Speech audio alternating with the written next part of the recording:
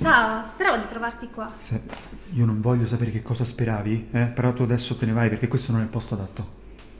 Hai qualche problema? Se ho qualche problema. Sì, certo che ho qualche... Ne ho diversi di problemi. E uno di questi sei tu. Senti, ehm, se è per quello che è successo ieri sera, parliamone dopo, ok? Non qua. Va bene, quando vuoi. Ok. Allora, siamo d'accordo, eh? Ti, ti chiamo io. Ti chiamo io. Perfetto. Adesso posso andare? Certo, prego, prego. Oh, che, che, che, che, che- fai? Io qua ci lavoro. Anch'io? Ecco. Mm, cioè, come scusi? Tu non stai proprio bene con la testa. dai. Io sto benissimo.